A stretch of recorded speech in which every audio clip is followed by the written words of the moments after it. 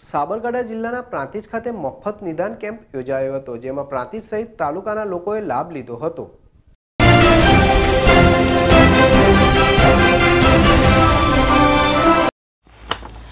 Prantij Bhankhariya bus stand ખાતે આવેલ શ્રી રાંદલ મહાકાળી મંદિર ખાતે મફત નિદાન કેમ્પ યોજાયો હતો, જેમાં પ્રાંતિજ સહિત તાલુકામાંથી દર્દીઓ ઉપસ્થિત રહ્યા હતા, જેમાં હાથ, પગ ઘૂંટણનો દુખાવો થતા લોકોએ આ કેમ્પમાં ઘર આગળ લાભ લીધો હતો.